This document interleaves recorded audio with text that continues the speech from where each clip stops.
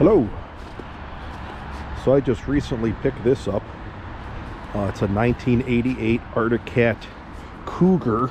Uh, the guy said it was a 440, but I couldn't find anything about a 440 Cougar, so it is actually a 500. Uh, it is fan cooled, so it doesn't have any radiator antifreeze.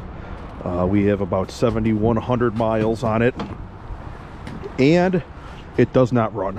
Uh, guy said it ran two years ago. He put it away, went to go run it this year, and wouldn't start on starting fluid. He checked for spark and had no spark. So who knows what we're gonna find. There's a lot going on here.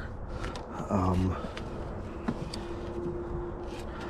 he said that he towed it in an open trailer, which is probably the worst thing you could do because yeah, look at look at all that down in there. It's pretty crispy.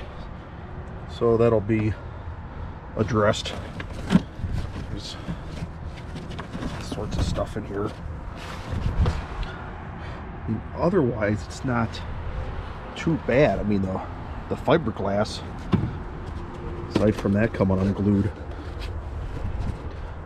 headlight's pretty, pretty rough too, but all in all, not bad. The brakes seem to work. So that's good. Oil injected, carbureted, He put a new seat cover on it. Saddlemen. It looks like it might need. Oh yeah, something. Oh yeah, look at that. Well, something found its way in here. That stinks. So I wonder if part of our wiring issue is from mice. Uh, yeah, so that'll snap on that eventually. It's a little tight right now, but I'll figure it out. I'll find something to stuff in here in the meantime.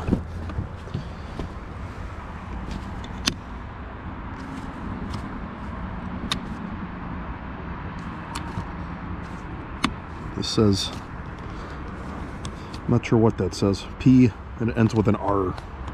On and off, who knows? Thumb warmer on and off. I'm not sure what that does. You would think it would be a choke, but there's a choke there. To do some research.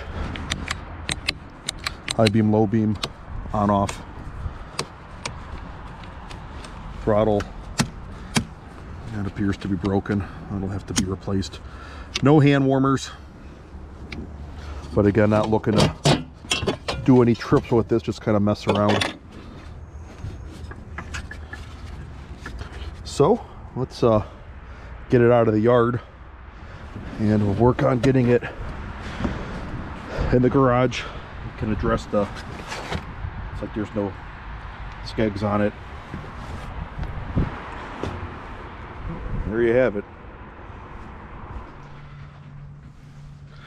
Okay, so we're back. We're in the garage and uh, just gonna get things cleaned up in here just so we can work on a little easier. I'm gonna take the exhaust off. Um, if you guys have never used a uh, an exhaust spring puller, best investment ever. Super easy to use. Let me show you how I use it.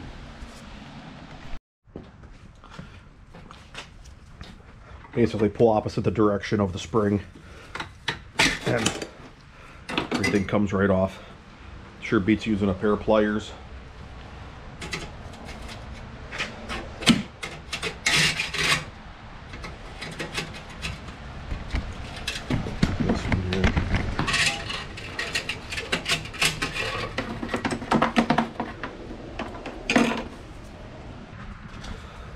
So these are the real tough ones, which make this tool even better.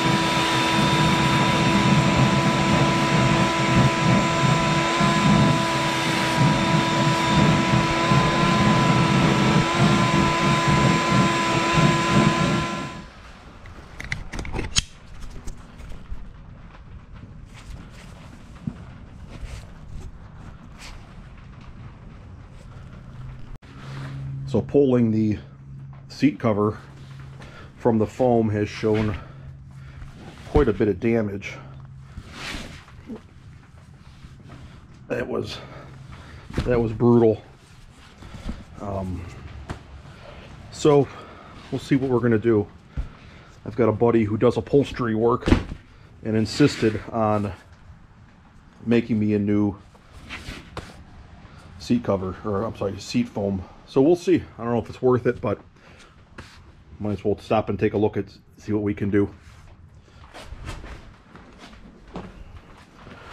Just amazed at how much water is in this. That's kind of a bummer.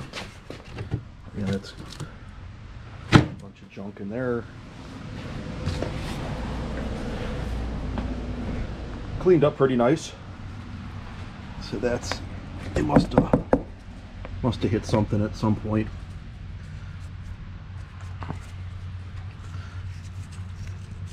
But there is a lot a lot of rust and that could be a reason why we don't have spark. So we'll have to trace everything back and see what we can find. All right, what I'm going to try to do now is take the uh, kill switch apart, see if there's any connectivity issues with that. Um, and then I noticed too that the brake lever here, when it um, closes, hits the switch. So I don't know if that's just a brake switch or if that is some kind of kill switch that you have to have it open in order to start it with the brake on. But regardless, we'll uh, we'll start piecing through it, see what we can find, and uh, get the multimeter out.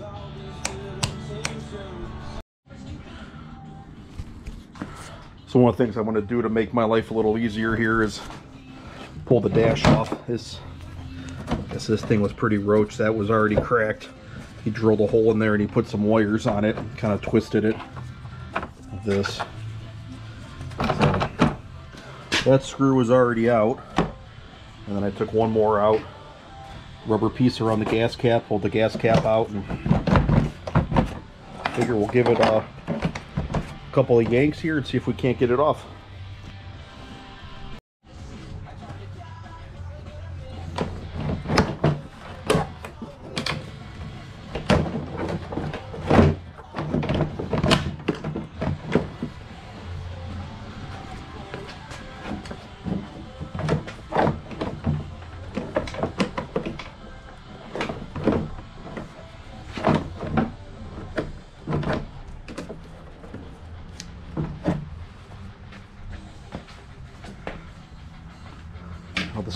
Cable is holding on tight.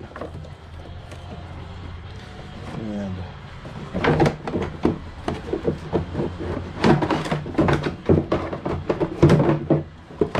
let the airbox out. That's pretty good.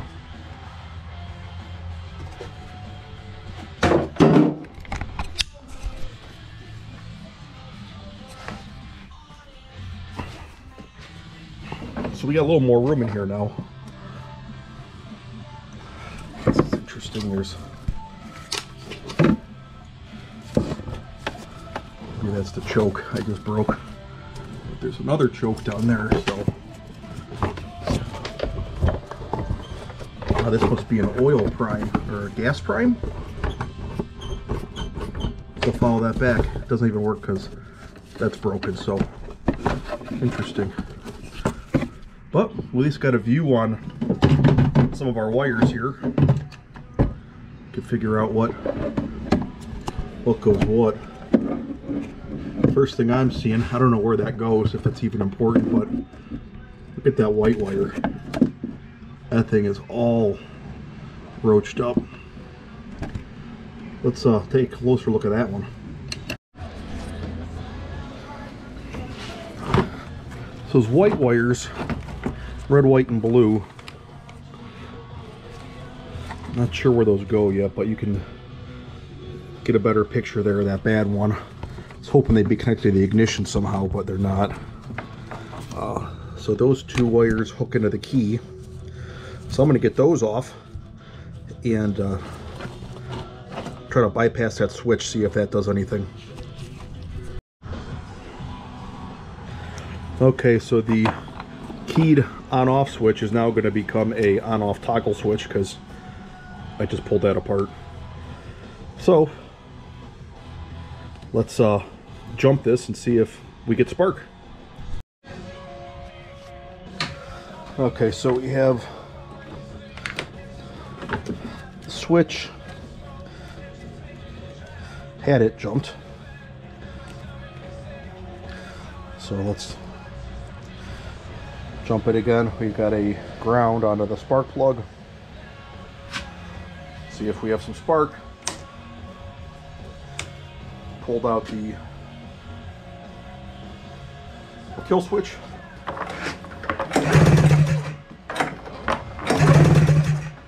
No spark. Okay.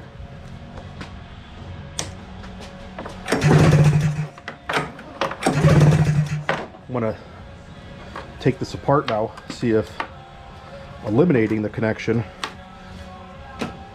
will make it fire.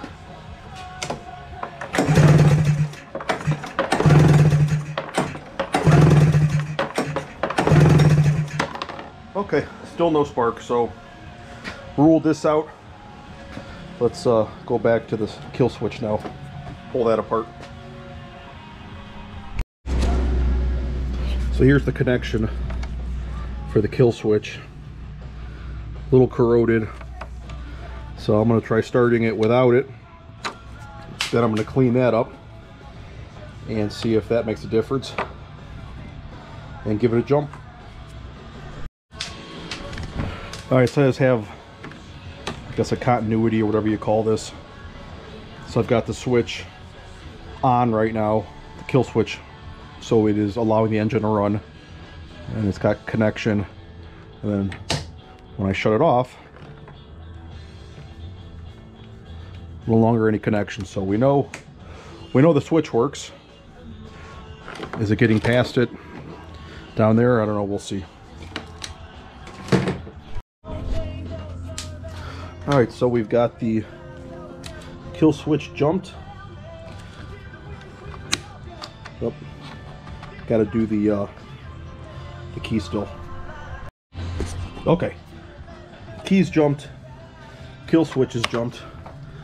Got the plug resting nicely and we can see it. So let's give it a pull, see what happens.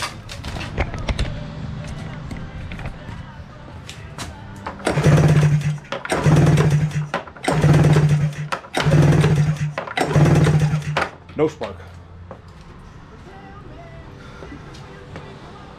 Take the kill switch off, see if that does it.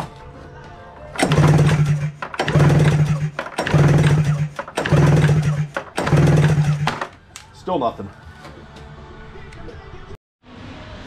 Alright, so I was messing around and ended up taking the fuel tank out. It's was held on by a spring and a a fuel line, so it just slid right out. I'm sure that'll free up much more space so I can see if there's anything else going on that could be giving me all my issues. So let's uh let's keep digging.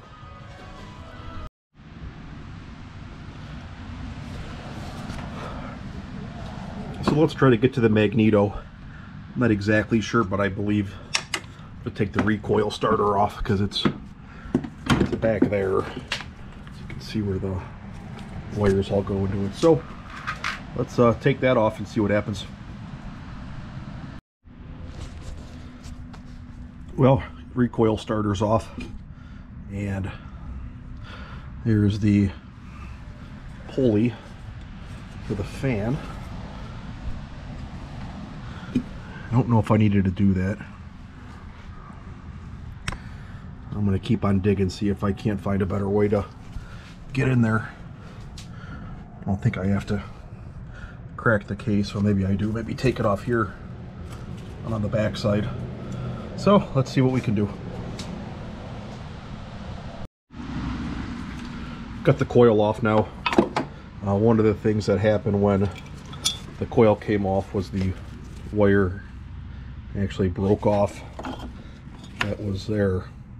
Uh, so we'll be getting a new coil anyway, but it, uh, who knows what it looks like inside. So we'll be waiting on parts. Probably now just pull the carbs off. There's no way those things are going to be clean. I could tell by the, the gas that it had been sitting. So we've got some downtime waiting for parts to get things moving. So we'll uh, pull the carbs off next. Not sure there's any value to taking the engine cover off, but I don't know who knows what we're going to find underneath it, so might as well take a look. The very rusty, rusty hardware. Missing one there.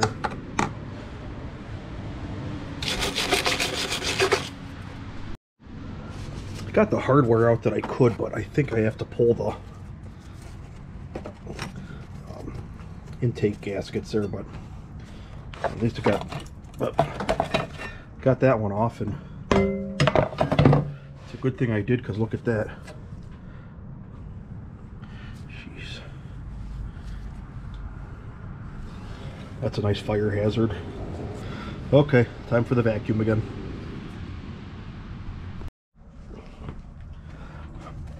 I took a good look at this and there's really nothing that I can't access.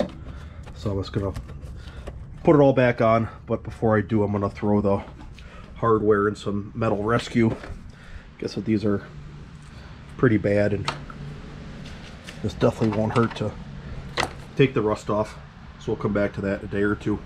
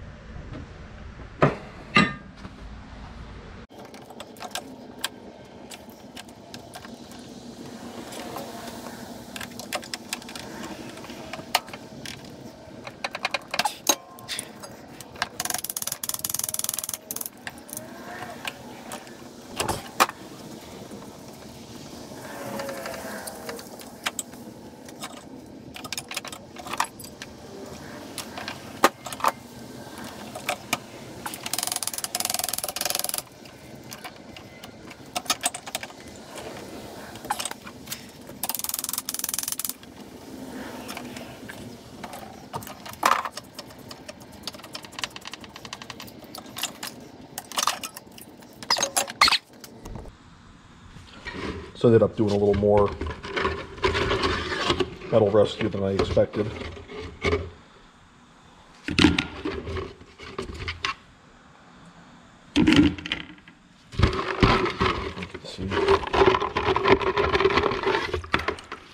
All these turned out look pretty good.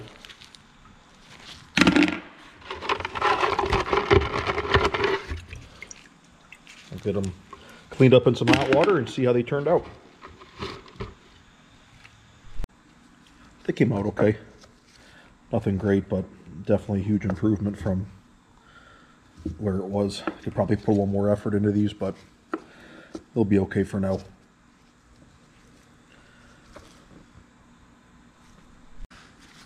Carbs came off. Ran them through ultrasonic cleaner.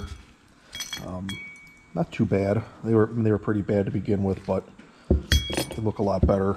Um, floats are definitely very free now. A lot of extra parts laying around. So let's get it back together. And there's still, oof, there's a lot of, a lot of junk in there. We'll have to maybe rinse these out one more time. So I was playing with the choke and the one cable wouldn't move when I move the lever and it looks like it came out of that slot right there as you can see.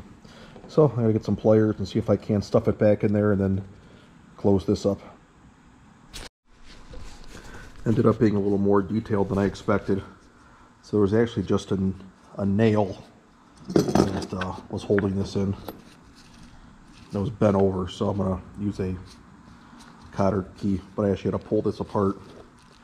And by doing so, I was able to hook the end of the cable back in. Just have to put the lever back on now and this will be good as new.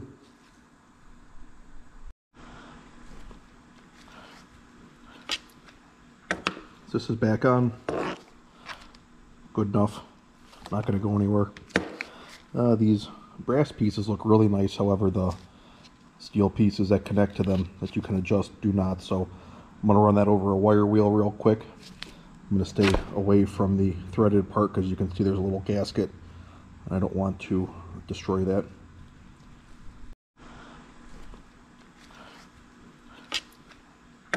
This is back on good enough. Not going to go anywhere. Uh, these brass pieces look really nice. However, the steel pieces that connect to them that you can adjust do not. So I'm to run that over a wire wheel real quick. I'm to stay away from the threaded part because you can see there's a little gasket. I don't want to destroy that. All right, looking good as new. So we can put this to the side. Um, we're not going to need see those two.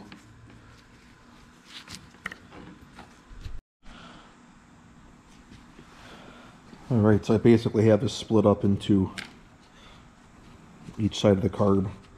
That's for the choke. I'm going to put that to the side. But put it back the same way we took it out. Really, anything, anything looked pretty good. Like main jet looked good. Idle jet looked good. So that was definitely a win. The gaskets are suspect, but I think they'll be okay. We'll see. Okay, so the carbs are cleaned and back together. All I have to do when I get back is put the fuel line on and then just drop the choke in. But it went back pretty good. You can hear the floats are still nice and loose. Um, if we ever get spark, we should be in very good shape.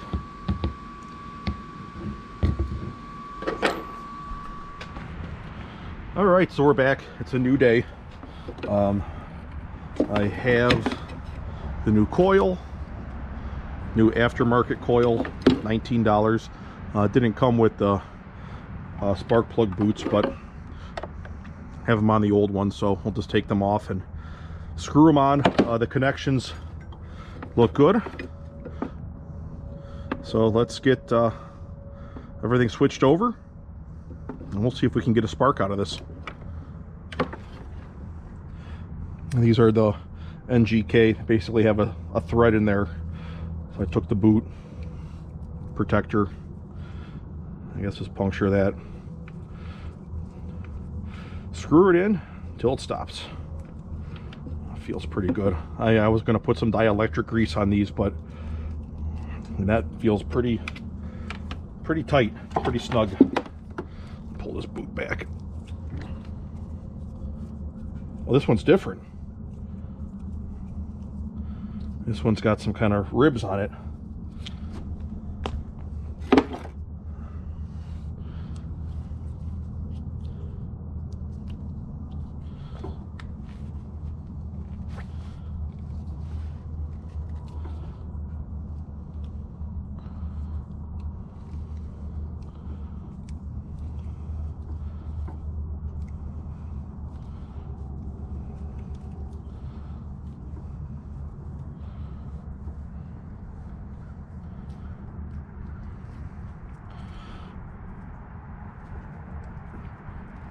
Okay.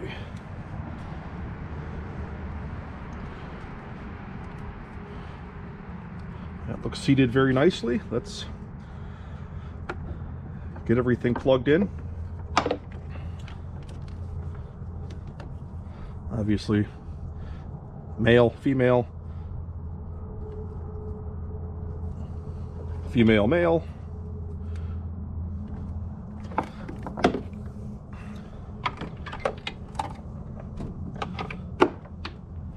you know what? I took the pull start off, so let's get that back on. And then we'll, as well just throw this on too, do it right. Hopefully it doesn't have to come off again. All right, four 10 millimeter bolts. I got a nut driver. These are easy to know. They went here because they have a flathead slot on them. I'm assuming that's for something in the in the woods. Orient this a few ways. It looks like this way has the least amount of angularness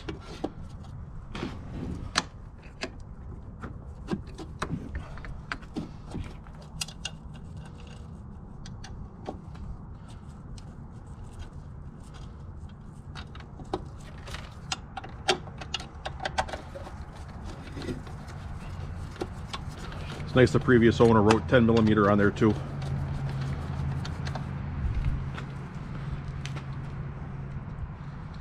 Get all four in.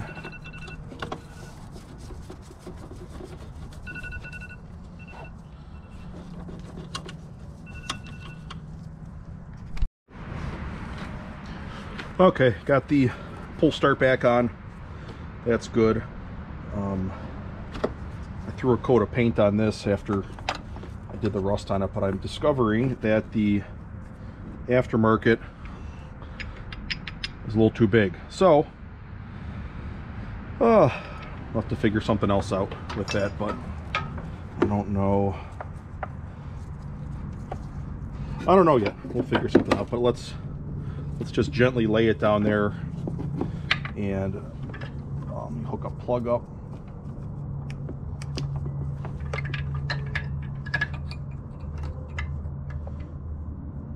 I will move the camera so that we can see if anything happens.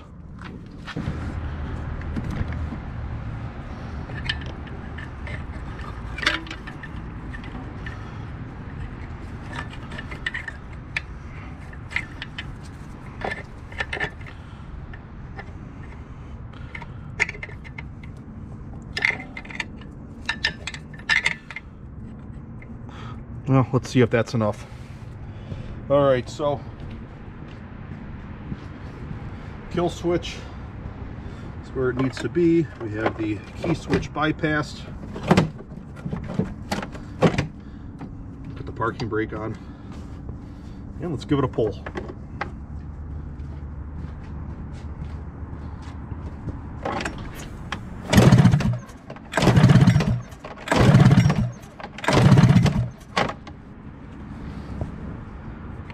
I don't think I saw anything.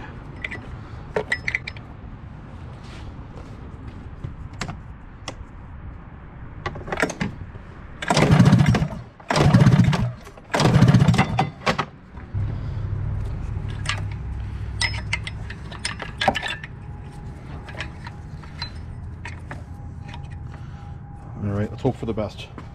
Here we go.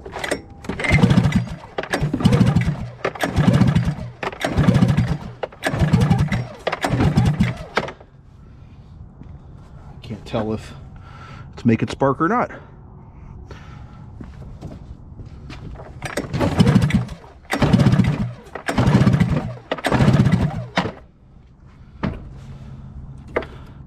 doesn't look like it sure everything's hooked up. I'm gonna put the plugs in. And then spray a little starting fluid just a little bit.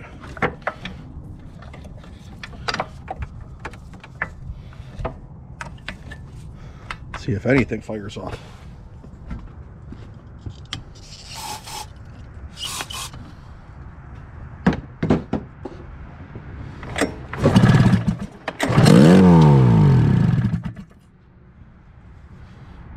right. Well, it did not appear to have spark, but guess what?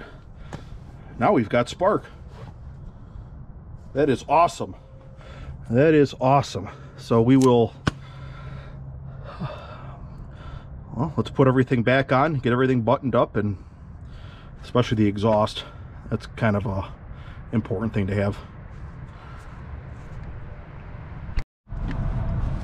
So one of the solutions I have for this, it doesn't fit in here like that, I think what I'll do is I'll put it on this side, okay, and just get a through bolt. Then I'll go through here and then we'll go right into those threads. I just don't have anything long enough at the house, so I'll have to order something, but I can at least put the rubber bushings back on and get this put back into the uh, the engine there. But for now, let's try to get everything put back together. I know there's a ton of fuel line I have to deal with and um, oil line as well.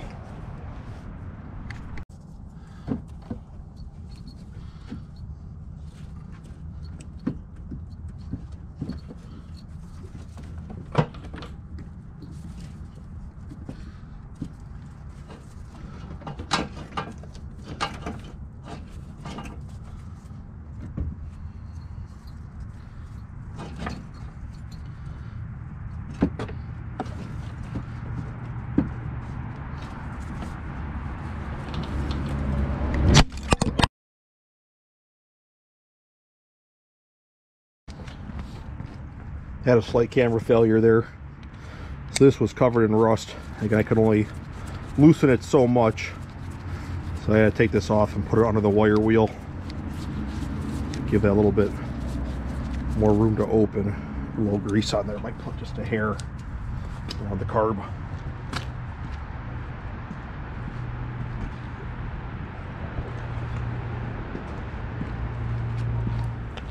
Make it slide in a little easier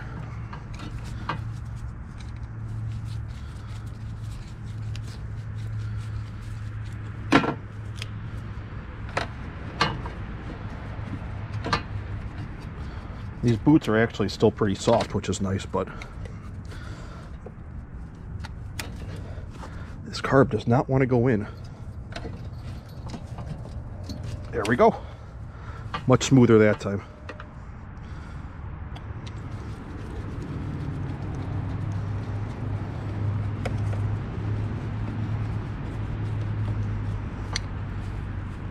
So I gotta screw that from the other side.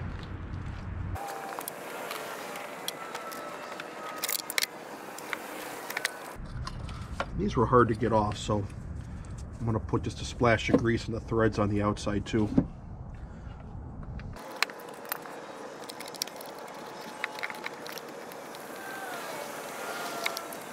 There's a lot going on here, but I think this is oriented right.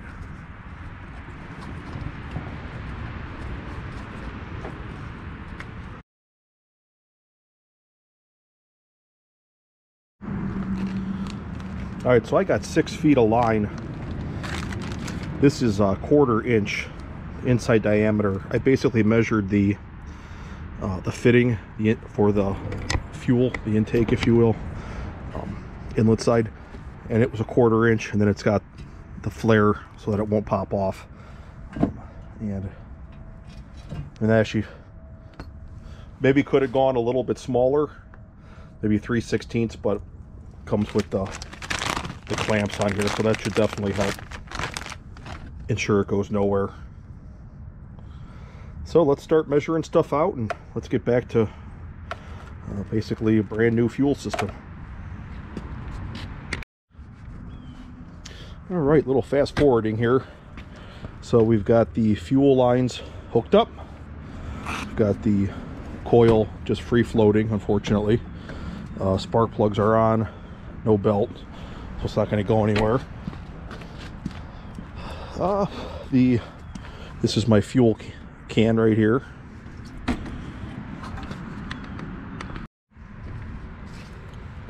Well, I had some camera issues and we're going to fast forward a little bit. So, um, I don't have the fuel tank hooked up right now. I got to get that done, but I ran all new fuel lines. The coil is just kind of sitting over here now. I got the airbox kind of back on. I got the boots. Haven't done anything with this yet, but uh, plugs, carbs. I poured a whole bunch of fuel into the line and it filled it up pretty good. Um, I'm missing a spring on this uh, carb choke plunger, maybe. We'll call it the choke plunger. This one has it, so it's pushing it down when the choke is off.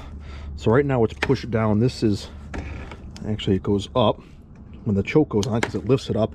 And the spring should push it down. So right now, uh, both are down. And now this one is up and that one's down. So uh, that could be a problem, but let's uh, let's give it a start. Move, move all that stuff. We lost a clip on our ignition. Actually, both clips there. That's important. So.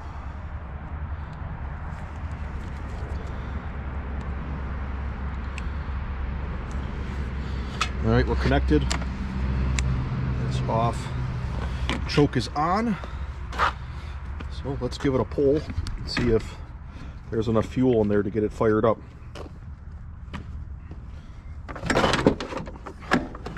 Uh, there is no belt on it, so if anything goes crazy, we'll be all right.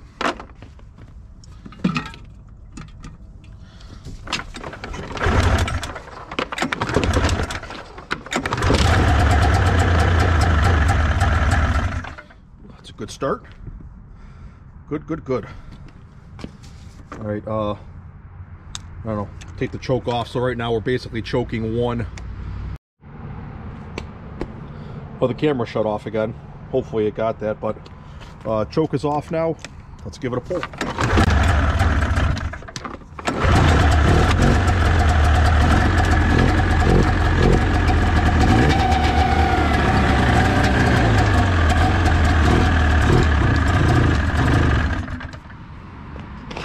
It's a good start. Let me put the choke back on for now.